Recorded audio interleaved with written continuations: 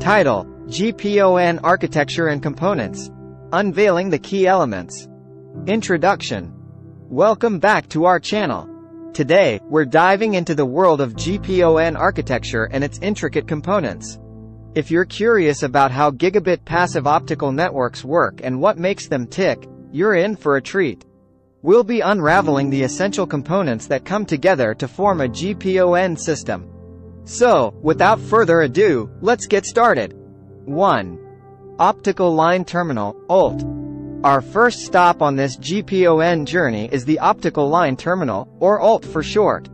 The OLT serves as the nerve center of the GPON network, connecting to multiple optical network units, ONUs, or customer premises equipment, CPE. It's responsible for managing the downstream and upstream data traffic, ensuring efficient communication between the central office and the end users.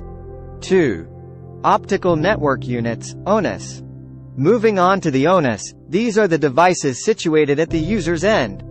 They receive and transmit data over the optical fiber network. ONUs play a vital role in converting optical signals to electrical signals that can be utilized by various devices like routers, computers, and phones. 4. Optical Distribution Network, ODN. The Optical Distribution Network, or ODN, is like the intricate highway system of the GPON architecture.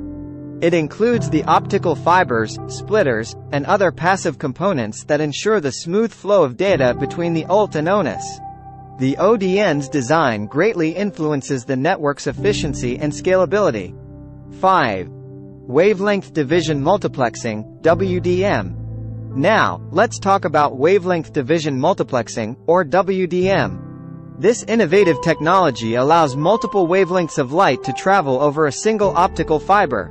In the context of GPON, WDM enables separate upstream and downstream channels, optimizing the utilization of the available bandwidth. 6. Bandwidth allocation. Bandwidth allocation is a critical process that ensures fair and efficient distribution of data among the ONUs. The OLT dynamically allocates bandwidth to ONUs based on their needs, allowing for seamless data transmission and preventing congestion. Conclusion. And there you have it, the key components of a GPON system. From the central OLT to the end-user ONUs, each piece plays a significant role in creating a high-speed, reliable, and efficient optical network.